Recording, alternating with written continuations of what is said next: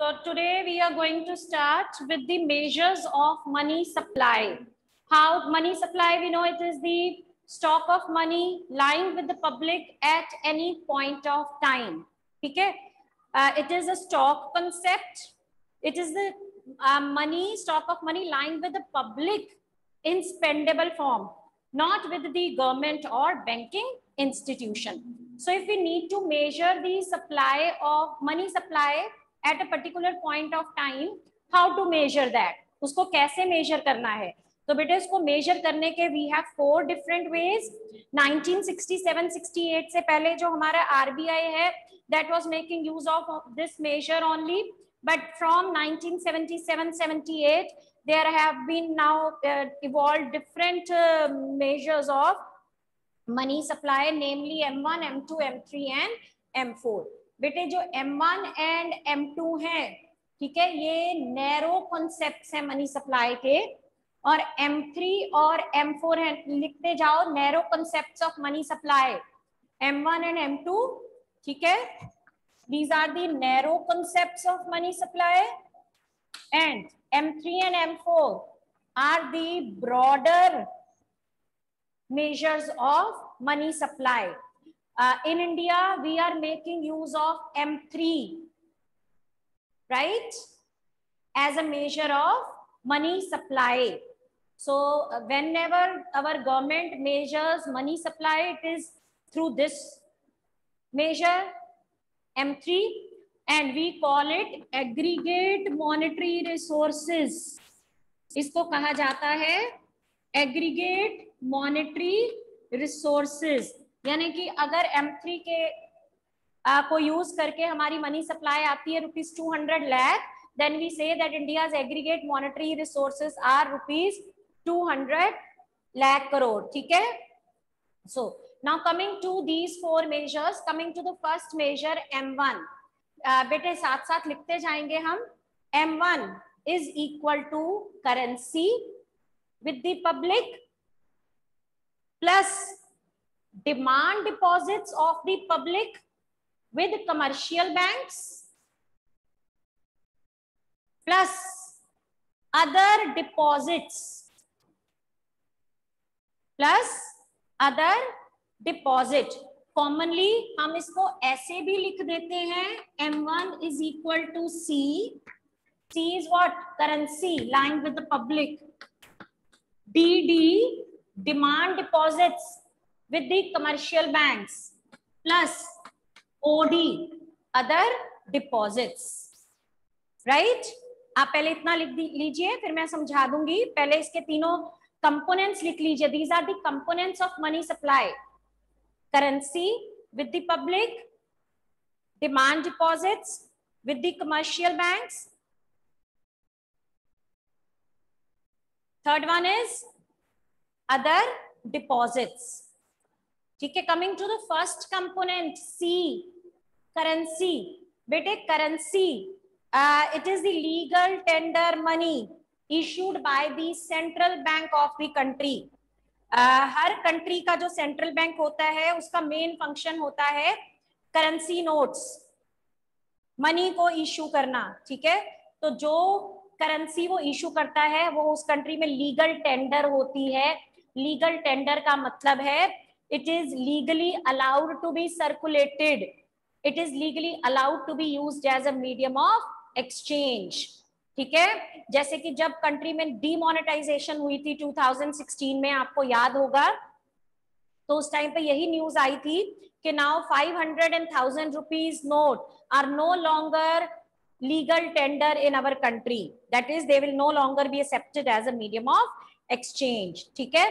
So currency with the public is what? It is the paper notes and coins lying with the public.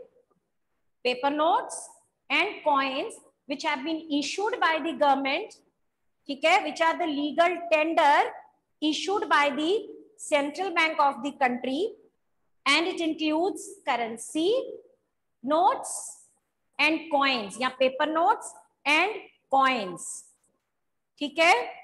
तो उसके बाद आते हैं बेटे demand deposits with commercial banks अब मैं अगर आपसे मेरे को मनी सप्लाई मेजर करनी है ठीक है? मैंने आपको कल भी एक एग्जांपल दी थी मैंने एक स्टूडेंट को बोला बेटे ये आपकी क्लास में सेवेंटी स्टूडेंट्स हैं ऐसे करो मनी सप्लाई मेरे को एस्टिमेट कर, करके बताओ इस टाइम पे.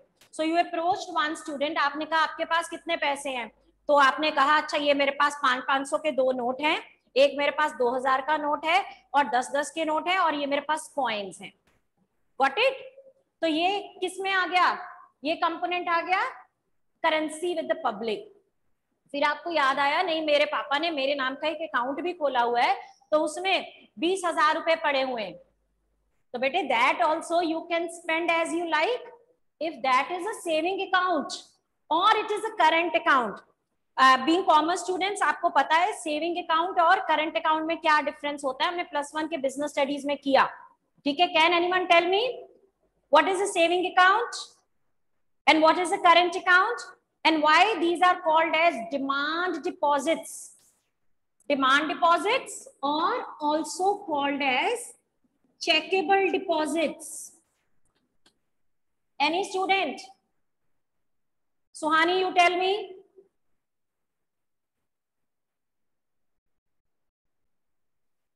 And saving account are those accounts which people open in order to save some amount of money from their income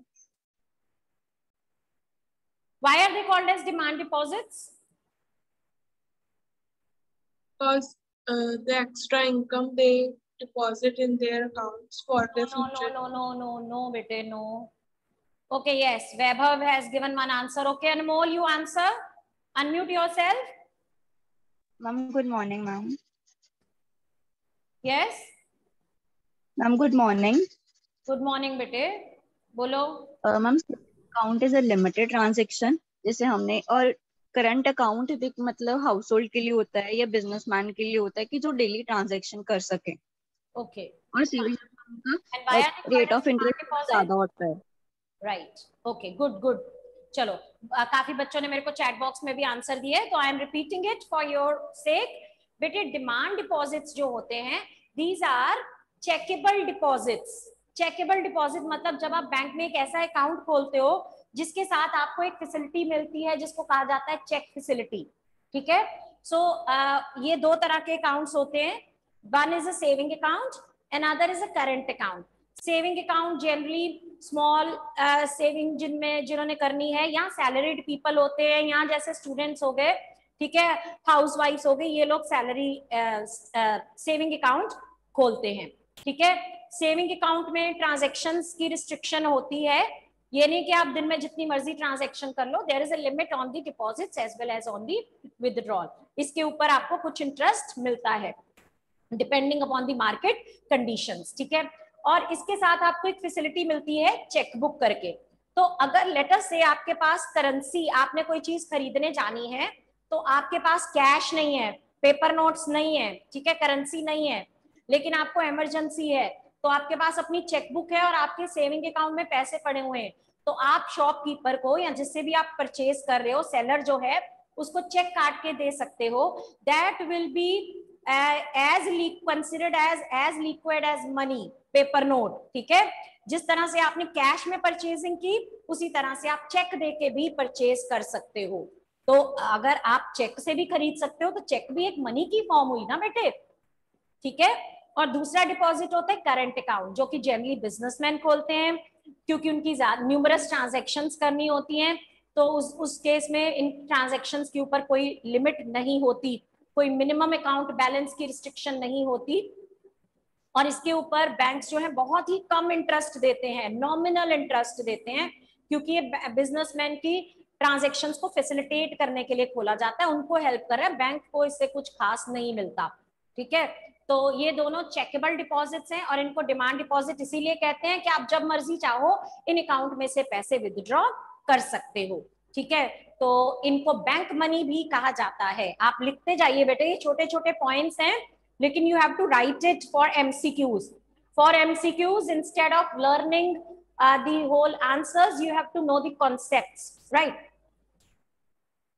okay So uh, this is another component of money supply, demand deposits with commercial bank. Coming to the third component, other deposits with RBI.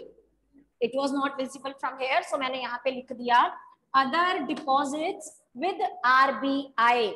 इसको हम OD other deposits with RBI. Other deposits में क्या आता है?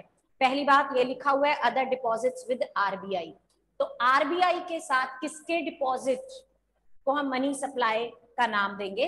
तीन तरह की institutions होती हैं। उनके जो डिपॉजिट्स आरबीआई के साथ होते हैं, उनको भी हम मनी सप्लाई का एक कंपोनेंट मानते हैं। ठीक है? वो कौन कौन से होते हैं? deposits held by RBI on behalf of foreign banks and foreign governments. Write it down. Other deposits include deposits held by RBI on behalf of foreign banks and foreign governments. Got it? RBI के साथ अगर foreign government के या foreign banks के कोई deposits हैं, वो भी हमारी मनी सप्लाई का हिस्सा है secondly deposits held by RBI on behalf of public financial institutions. Public financial institutions जैसे कि बेटे आईडीबीआई एक फाइनेंशियल इंस्टीट्यूशन है ठीक है, उनके डिपॉजिट्स आरबीआई के साथ जो पड़े हुए हैं, वो भी मनी सप्लाई में काउंट होते हैं। Thirdly deposits held by RBI on behalf of international financial institutions world bank है इंटरनेशनल मॉनेटरी फंड है, ठीक है? ये फाइनेंशियल इंस्टीट्यूशंस हैं। इनके जो डिपॉजिट्स आरबीआई के साथ पड़े हुए हैं, वो भी इंडिया की मनी सप्लाई का हिस्सा माने जाते हैं। Got it so money supply is equal to C plus D D plus O D ठीक है, अब इसमें दो बातें और। ये लिख लिया आपने। इसमें मैंने एक आपको बताया करेंसी में क्या क्या आता है? पेपर नोट्स एंड कॉइन्स ठीक है? Line with public issued by central bank and which is fiat money भी इसको हम कह देते हैं। लिख लो ये भी। It is also called as fiat money have you heard of this term fiat का मीनिंग पता है किसी को? ये कार का नाम नहीं है फियट एक वर्ड है। Fiat means on the order of the government on the decree of the government बेटे, जो पेपर नोट है आपके पास, जिसके ऊपर लिखा हुआ है, पाँच सौ रुपए। उसमें एक वर्डिंग्स लिखी होती है कि government of India promise to pay the bearer of this note the sum of five hundred rupees तो ऐसे तो वो कागज़ का टुकड़ा है। उसकी वैल्यू पाँच सौ रुपए कैसे बनी? क्योंकि उसके ऊपर गवर्नमेंट का ऑर्डर है। गवर्नमेंट कहती है कि ये जो नोट है, इससे आपकी पाँच सौ रुपए की परचेजिंग पावर होती है। इसकी परचेजिंग पावर या इसकी वैल्यू जो है वो पाँच सौ रुपए है। ठीक है? सो इसीलिए इसकी वैल्यू बनी। क्यों बनी? क्योंकि गवर्नमेंट ने कहा, इसकी फेस वैल्यू जो है, इसकी इंट्रेंसिक वैल्यू कुछ नहीं है। इंट्रेंसिक वैल्यू मतलब अगर आप ये नोट को रद्दी में बेचोगे तो ये, अब जैसे गवर्नमेंट ने कह दिया, ये 500 के नोट अब लीगल टेंडर नहीं रहेंगे तो वो बेटे रद्दी के टुकड़े बन गए, कागज़ के टुकड़े बन गए। है ना? अब वो लेके आप पुराना नोट किसी के पास अगर 500 का या हज़ार का पड़ा है आप अगर आ, मार्केट में निकलोगे और किसी को पुराना नोट पकड़ा दोगे तो वो एक्सेप्ट नहीं करेगा। वो क्या रह गया? कागज़ का टुकड़ा रह गया। क्यों? क्योंकि गवर्नमेंट ने पहले जो ऑर्डर कहा था कि ये 500 का नोट से 500 रुपए की चीज़ खरीद सकते हो इसकी वैल्यू 500 रुपए है गवर्नमेंट ने वो ऑर्डर वापस ले लिया। गॉट इट मतलब this is no longer fiat money fiat money वो होती है विच इज़ uh, जो कि गवर्नमेंट अलाउ करती है to be use as a money ठीक है?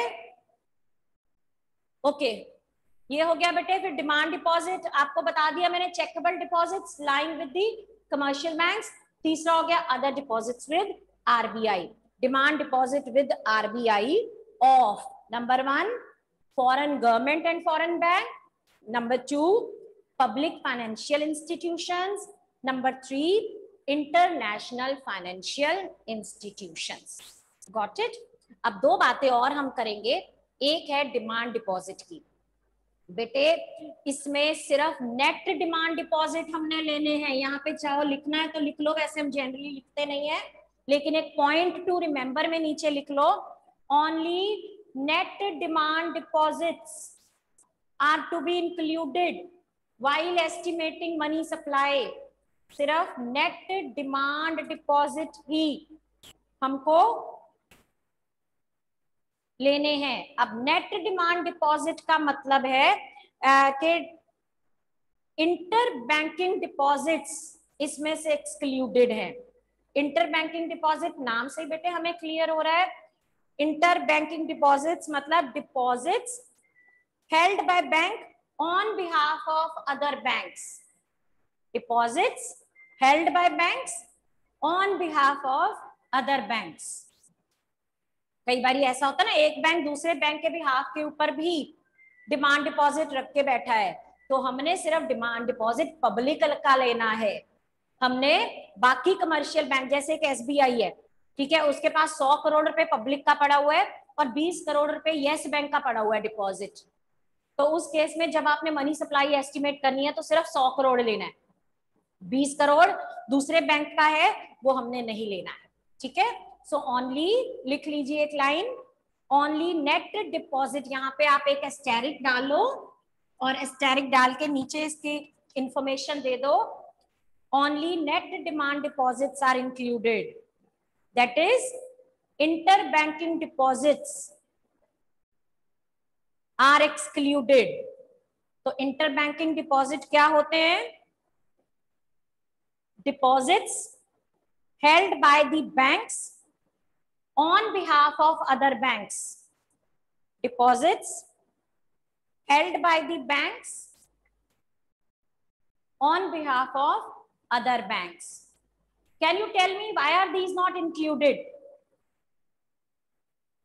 आपको जब मैंने कहा मनी सप्लाई एस्टिमेट करो, आपने अपने स्टूडेंट से पूछ लिया तो आपने ये एस्टिमेट लगाया कि लोगों के पास, आपके यहाँ स्टूडेंट्स के पास एक लाख रुपए के करेंसी नोट्स और पॉइंट्स पड़े हुए हैं, ठीक है? फिर आपने उनके से पूछा कि बैंकों में आपका कितना डिपॉजिट है? तो उन्होंने कहा, पाँच लाख रुपए हमारा डिपॉजिट है। आप बैंक के पास गए, बैंक कहता कि मेरे पास पाँच लाख रुपए इन बच्चों का डिपॉजिट है। इसके अलावा मेरे पास एक लाख रुपए दूसरे बैंकों का डिपॉजिट भी पड़ा हुआ है। तो should we take five lakh और वन लैख सिक्स लैख और वन लैख हमने सिर्फ़ फाइव लैख लेना है। अब बात यह कि वन लैख क्यों नहीं लेना? Anyone? कपिल लूथर हम वन लाख क्यों नहीं ले रहे? Vanshika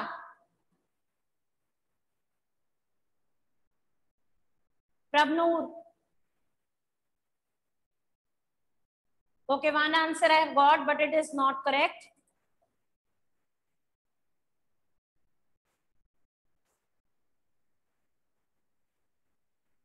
Prabnoor. Okay, banks are the source of money supply. बेटे ये इसलिए नहीं लेना क्योंकि ये पब्लिक के पास नहीं है ये पब्लिक का पैसा नहीं है ये एक बैंक ने दूसरे बैंक से लिया हुआ है, ये पब्लिक का पैसा नहीं है। मनी सप्लाई वो होती है जो कि स्पेंडेबल फॉर्म में पड़ी हुई है। जिसको मैं खर्च सकती हूँ, वो मनी सप्लाई में आएगी। तो मेरे पास जो जितने पैसे मेरे पर्स में पड़े हुए हैं या मेरे घर में लॉकर में पड़े हुए हैं, वो आएँगे मनी सप्लाई में। जो मेरा बैंक में सेविंग अकाउंट है, ठीक है, वो आएगा। लेकिन जो इंटर जो बैंकों के डिपॉजिट बैंकों ने कस्टमर्स के अलावा बैंकों के डिपॉजिट्स खोल रखे हैं, वो नहीं आएँगे, क्योंकि वो पब्लिक के पैसे नहीं है पब्लिक उसको खर्च नहीं सकती। जो पैसा हम खर्च सकते हैं, वही मनी सप्लाई का हिस्सा है। ठीक है? अब, ये बात मैंने बता दी कि सिर्फ़ inter banking transact deposit net demand deposit आने इंटर बैंक डिपॉजिट नहीं आने, क्यों नहीं आने, ये भी मैंने बता दिया, क्योंकि वो पब्लिक के पास नहीं है स्पेंडेबल फॉर्म में नहीं है। तीसरी बात, जो अदर डिपॉजिट्स हैं बेटे they comprise very small percentage of money supply so it is generally ignored other deposits जो है, इसको हम जनरली इग्नोर कर देते हैं, क्योंकि ये जो है बहुत ही स्मॉल कंपोनेंट है। ठीक है? तो जब हमने मनी सप्लाई को कंट्रोल करना है जैसे मैंने आपको बोला कि मैंने ना मनी सप्लाई को, मेरे को प्राइसेस के ऊपर कंट्रोल करना है, जिसके लिए मुझे मनी सप्लाई को कंट्रोल करना पड़ेगा। तो मुझे मनी सप्लाई कितनी है ये बताओ।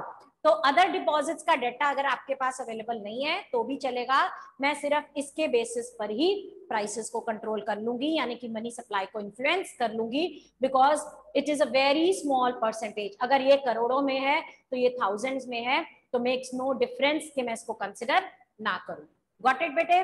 This was m1 major coming to m2 लिख लो साथ साथ now it is very simple m2 equals m1 plus saving deposit with post office saving bank. Post office देखा हुआ है आपने? पहले पोस्ट ऑफ़िस का पर्पस क्या होता था? सिर्फ़ कम्युनिकेशन है ना? आपकी लेटर्स वगैरह इधर उधर करना या जिस टाइम पे पैसे भेजने का और कोई ज़रिया नहीं होता था तो मनी ऑर्डर्स पोस्ट ऑफ़िस के थ्रू जाते थे। आजकल बेटे, जो पोस्ट ऑफ़िस है, वो बैंक के नज़दीक हो गए हैं। उनको बैंक उनमें लोग अकाउंट भी खोल सकते हैं।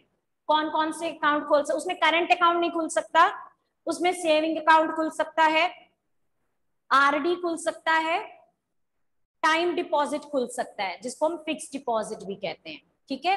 लेकिन M2 मेजर जो है वो नैरो मेजर है ठीक है? तो इसमें हम क्या लेते हैं? पहले तो M1 यानी जो लोगों के पास पैसा है सी और जो इनके बैंकों में डिपॉजिट पड़े हुए हैं डी वो और ओडी प्लस अगर लोगों के आपने लोगों को बोला बच्चों से पूछा कि आपके कितने पैसे हैं? आपने कहा मेरा तो एक अकाउंट तो मेरा आ, उसमें है एसबीआई में मेरे पापा ने खोला हुआ और मेरा किसी, कोई बच्चे कहेंगे, मेरा पोस्ट ऑफ़िस में अकाउंट खुला हुआ है सेविंग अकाउंट तो वो जो सेविंग अकाउंट में जितने पैसे हैं पोस्ट ऑफ़िस के सेविंग अकाउंट में that is also a part of money supply according to M two measure of money supply okay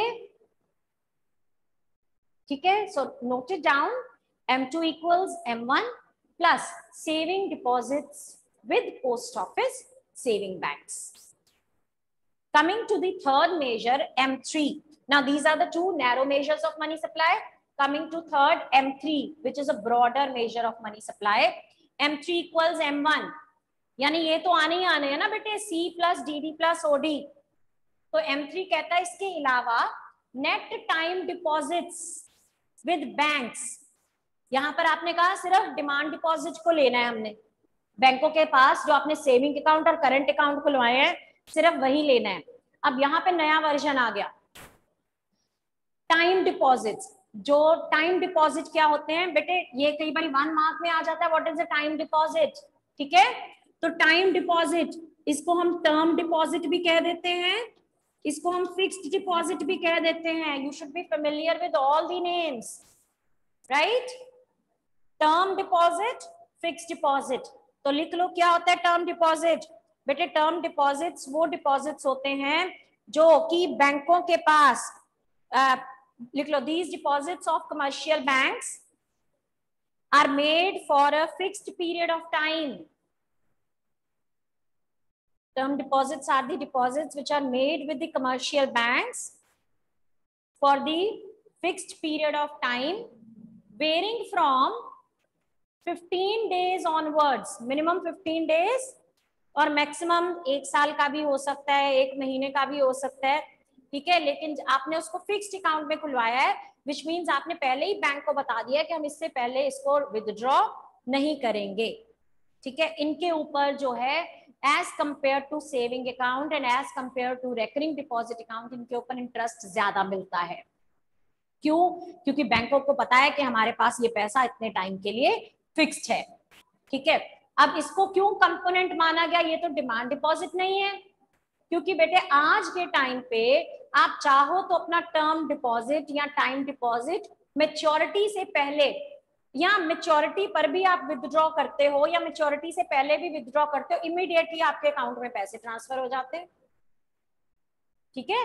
tried sometime अगर आपके मम्मा या पापा की कोई एफ़ मेच्योर होने वाली है, आप बोलो कि मैं जाता हूँ बैंक में। आप जाओगे, उसको बोलोगे कि एफ़ डी मेच्योर हुई है, ठीक है, हमने इसको विदड्रॉ कराना है तो व्हाट ही विल डू अपने वो सिस्टम में चेक करेंगे साइन कर देंगे, आपको दूसरे पर्सन के पास भेजेंगे, वो चेक करेंगे।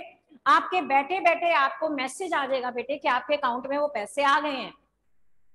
So how come it is not money of course it is money ठीक है? थोड़ी सी कम लिक्विड फॉर्म है आ, लेकिन ये मनी ही है। इनको हम नियर मनी एसेट्स भी कह देते हैं। ये पूरी तरह से लिक्विड है तो ये मनी है और ये थोड़े कम लिक्विड है तो ये नियर मनी एसेट्स कहलाते हैं। Demand deposits are also called as near money assets ठीक है बेटे?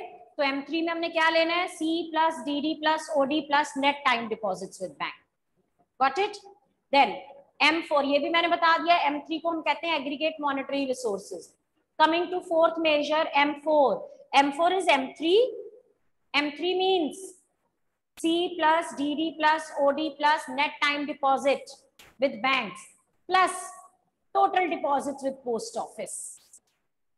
बैंकों के भी डिपॉजिट आ गए, बैंकों का सेविंग अकाउंट भी आ गया, बैंकों का फिक्स डिपॉजिट भी आ गया करंट डिपॉजिट भी आ गया.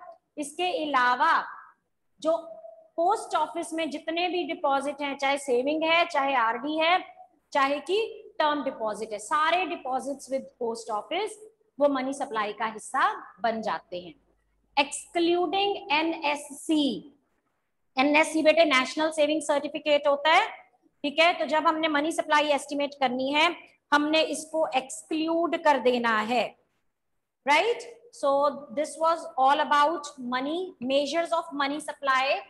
Coming to the next topic, which is suppliers or producers of money supply in India. Can you tell me who is the supplier of money supply in India? So by the time I'm writing it here, you write down in the chat box, suppliers of money supply. India में money की supply कौन करता है? Money के producer कौन है? कौन करता है? Okay I have got certain answers RBI bank government okay RBI of course the answer is very much right RBI has the sole authority to print currency notes ठीक है? तो जितने भी करेंसी नोट्स हैं, आप देखोगे, उसमें गवर्नर ऑफ़ आरबीआई के साइन होते हैं, यानी जितनी भी मिंटिंग होती है मनी की, वो आरबीआई के ऑर्डर से ही होती है। आरबीआई की खाने जिनको हम मिंट्स कहते हैं, ठीक है, वहाँ पर होती हैं, ठीक है? और बच्चों ने आंसर दिया है गवर्नमेंट जिस बच्चे ने गवर्नमेंट बोला है, वो मेरे को एक्सप्लेन करेगा गवर्नमेंट कैसे आरबीआई छापती है, ठीक है? तो गवर्नमेंट कैसे कह दिया आपने? लक्षित ने आई गैस आंसर दिया है। ठीक है? Lakshit can you tell me how government is a supplier of money supply ma'am क्योंकि मिनिस्ट्री ऑफ़ फाइनेंस जो होती है हमारी वन रुपी नोट्स और कॉइन्स की है। एक मिनट बेटे वॉल्यूम मेरे को बढ़ाने दो पर सबसे हाई है आपकी आवाज़ नहीं आ रही। थोड़ा सा ऊँची बोलो। यस मैम मिनिस्ट्री ऑफ़ जो फाइनेंस है ना वो इशू करती है वन रुपी कॉइन नोट्स या कॉइन्स हो गए। Okay let me give the answer बेटे। हमारी जो गवर्नमेंट ऑफ़ इंडिया है, जो वन रुपी के नोट होते हैं ना, आप वन रुपी के नोट अभी निकाल के देख लीजिए, अगर पॉकेट में कोई पड़ा हुआ है तो। उसके ऊपर आरबीआई गवर्नर नहीं लिखा होगा। उसके ऊपर लिखा होगा ministry of finance and it is signed by finance secretary of India ठीक है? जैसे बाकी नोट्स के ऊपर आरबीआई गवर्नर के साइन होते हैं, यहाँ पर फाइनेंस सेक्रेटरी के साइन होते हैं, क्योंकि जो वन रुपी के नोट हैं that is all printed by government of India उसको प्रिंट करने की अथॉरिटी गवर्नमेंट के पास होती है। Why this exception why this exception लिख लो, अगर लिखना है तो। बेटे वन रुपी नोट गवर्नमेंट के पास अथॉरिटी है छापने की अपना डेफिसिट को पूरा करने के लिए। ठीक है? क्योंकि आरबीआई जो है, अपनी जो डाटा है, उसके हिसाब से करेंसी नोट्स प्रिंट करती है। तो गवर्नमेंट जो है, अपना डेफिसिट को ऑफसेट करने के लिए वन रुपी के नोट की उसके पास अथॉरिटी है, वो कर सकती है। क्योंकि ज़्यादा अथॉरिटी दे दी तो उससे क्या होगा? अगर गवर्नमेंट ज़्यादा छापेगी गवर्नमेंट ने घाटे का बजट दे दिया तो गवर्नमेंट उसको पूरा करने के लिए ज़्यादा नोट छाप दिए, सौ के नोट छाप दिए तो उससे मनी सप्लाई बहुत ज़्यादा बढ़ जाएगी। तो उससे प्राइसेस बढ़ने लग जाते हैं तो इसीलिए उसको सिर्फ़ वन रुपी नोट की अथॉरिटी दी है। तीसरा सप्लायर मनी का है commercial bank commercial bank do not print currency note still they are the supplier of money this we will do tomorrow because time is up ठीक है? Anyone having any doubt you can ask